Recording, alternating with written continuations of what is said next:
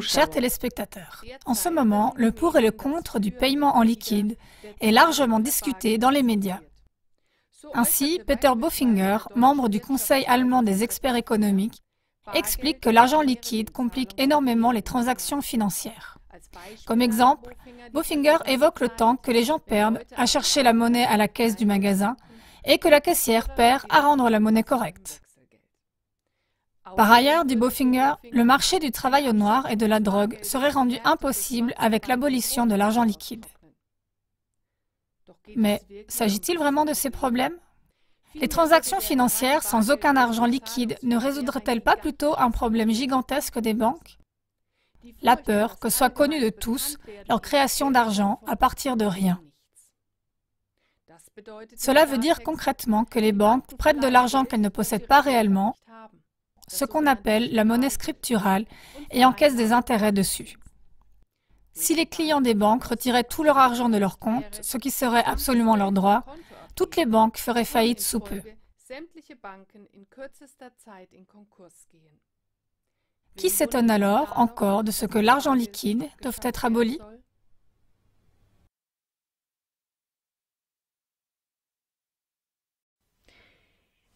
Les tentatives pour abolir l'argent liquide, si possible déjà en 2018, sont depuis longtemps en cours. Le but visé, c'est la surveillance totale et la limitation largement étendue de la liberté personnelle. Sans l'argent liquide, des prélèvements obligatoires sur le patrimoine sont possibles à tout moment au travers de taxes, et cela systématiquement. Sans l'argent liquide, les banques peuvent accroître l'endettement général quasiment à volonté, car il n'existera alors que de l'argent électronique créé à partir de rien, sur lequel on prélèvera même des intérêts. Nous avons parlé de cela dans notre émission du 5 novembre 2015. Mais les citoyens tiennent tellement à leur argent liquide que son abolition avant 2018 semblait jusqu'ici irréaliste. Les campagnes médiatiques pour l'introduction de la société sans argent liquide n'y ont pas changé grand-chose. C'est comme si les citoyens sentaient intuitivement qu'ils abandonnent en même temps que l'argent liquide une partie plus grande de leur liberté. Car ce qu'on possède, on le possède. Peu importe si c'est dans le porte-monnaie ou caché sous le matelas, on peut en disposer si nécessaire. Mais cela n'est pas le cas avec l'argent purement électronique sur un compte. Celui-ci peut être effacé en un clic ou bien le compte peut être fermé complètement. Certaines cartes de crédit fonctionnent de manière semblable à l'argent liquide. Ce sont les cartes de crédit prépayées, c'est-à-dire des cartes que l'on charge au préalable et que l'on recharge et avec lesquelles il est ensuite possible de payer anonymement. L'argent n'est pas sur le compte, mais enregistré sur la carte.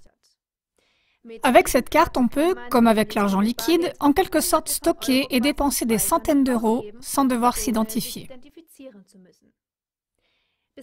Par exemple, en France, on pouvait jusqu'à aujourd'hui acheter une telle carte prépayée d'un montant maximum de 250 euros sans que l'identité soit vérifiée. Des cartes anonymes, rechargeables jusqu'à un montant de 2500 euros par an, sont également disponibles. Et on peut les recharger. On a ensuite une somme d'argent et un numéro de carte à disposition, et avec cette carte, on peut aussi faire des achats anonymes sur Internet. Mais c'est également cette sorte de carte de crédit qui se trouve actuellement en ligne de mire, et avec celle-ci probablement aussi l'argent liquide. Car après les attaques terroristes à Paris, les défenseurs de l'État français veulent mieux surveiller les transactions financières, c'est ce qu'annoncent les médias. Ils veulent pouvoir contrôler si un extrémiste suspect loue une voiture ou se rend dans un hôtel, contrôler où il voyage et ce qu'il achète. Dans un premier temps, les paiements en liquide ont été limités après les attaques contre Charlie Hebdo. Aujourd'hui, on ne peut pas payer en espèces des sommes de plus de 1000 euros. Mais le ministre des Finances, Michel Sapin, veut aller plus loin. Je cite Sapin. Nous allons limiter l'utilisation des cartes prépayées. Et avec quelle justification? Parce que ce seraient des cartes qui, je cite Sapin, ont aussi été utilisées par les terroristes. Ah, d'accord, c'est comme ça que ça fonctionne. Le ministre des Finances, Michel Sapin, avec le prétexte de lutter contre le terrorisme, veut donc surveiller toute personne suspecte, à commencer par ses voyages et ses achats, et si nécessaire, stopper ses activités de tout genre.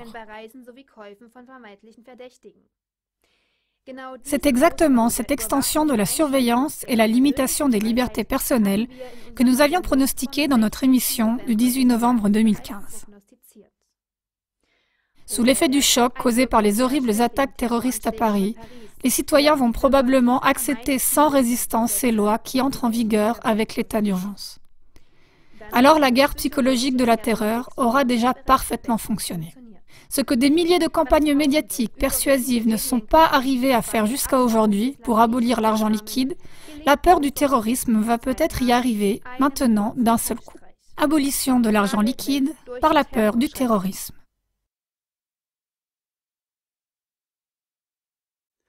Depuis des mois, au travers des médias, les politiciens expliquent avec insistance au grand public à quel point l'utilisation des pièces de monnaie et des billets de banque est démodée et incommode, et à quel point par contre l'utilisation de cartes de crédit et de cartes à puce serait moderne et efficace. De plus, on répète comme un moulin à prière que l'utilisation de l'argent liquide favorise le blanchiment d'argent, qu'il avantage le détournement d'impôts, qu'il soutient la corruption et facilite aux terroristes l'approvisionnement en argent. Nous en avons déjà parlé sur CLA TV. L'observateur impartial s'étonne et pose la question suivante. Pourquoi ces sujets sont-ils de plus en plus soulevés justement maintenant? Car le blanchiment d'argent, le détournement d'impôts, la corruption et aussi le terrorisme existent depuis toujours. Et de toute façon, les vraies grandes affaires financières crapuleuses ne passent pas par l'argent liquide. Ces quatre raisons ne semblent être qu'un prétexte. C'est pourquoi les experts financiers formulent de manière un peu exagérée les véritables motifs qui se cachent derrière les campagnes actuelles contre l'argent liquide. On veut leur argent. Alors cela vaut la peine de regarder d'un peu plus près derrière les coulisses et de se faire une idée de ce à quoi tout cela est relié. Lors du krach financier en 2008, le système financier global n'a pu être sauvé que par un bail-out. Cela veut dire qu'à cette époque, les États ont apporté de l'aide avec l'argent du contribuable en injectant artificiellement des capitaux et sauvé de nombreuses entreprises financières et banques vouées au déclin avec la justification qu'elle serait too big to fail, ce qui veut dire trop grande pour échouer. Mais par la suite, celles-ci n'ont pas saisi ce traitement préférentiel comme une occasion pour endiguer leurs propres risques. Tout au contraire, elles se sont exposées à des risques encore plus grands et ont accumulé encore plus de dettes. Comme aujourd'hui, les États ne sont tout simplement plus en mesure de sauver de nouveau les banques en cas de crise, un autre bail-out, c'est-à-dire une autre aide financière venant de l'État, ne sera plus possible dans un prochain cas d'urgence. C'est pour cette raison que le bail-in a été introduit en Europe début 2016. Cela veut dire qu'à l'avenir, les entreprises financières seront sauvées tout d'abord en ayant recours aux avoirs des actionnaires, des propriétaires d'obligations et des épargnants. Cela a déjà été mis en œuvre à Chypre et en Italie, mais avec des conséquences. Beaucoup de gens essayent actuellement de se protéger en fermant leurs comptes et en entassant leur fortune sous forme d'argent liquide. Pour retirer aux gens cette possibilité de retrait, l'argent liquide doit être supprimé ou du moins endigué. Car si l'argent liquide n'existe plus, les gens seront obligés de laisser leur argent dans les établissements de crédit ou bien de changer pour un autre établissement de crédit prétendument plus sûr.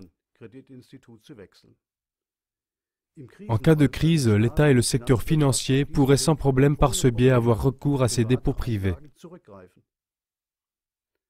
Mais il existe encore une autre raison pour l'abolition forcée de l'argent liquide. Actuellement, les intérêts des banques sont à zéro, ou bien même ils sont arrivés dans le négatif, en Suisse par exemple, au Japon et dans quelques pays de l'UE. La conséquence de l'intérêt négatif est la suivante.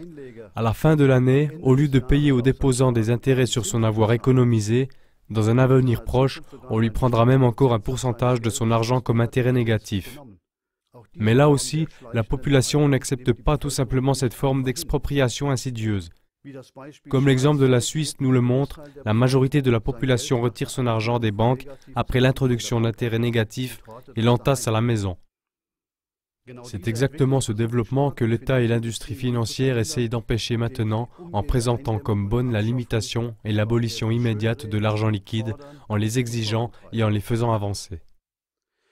Mais l'abolition de l'argent liquide entraîne des pertes de liberté bien plus profondes encore. Nous reviendrons sur le sujet de l'abolition de l'argent liquide dans d'autres émissions. Restez avec nous, étudiez nos émissions déjà publiées sur ce sujet et partagez nos informations avec votre entourage. Merci beaucoup.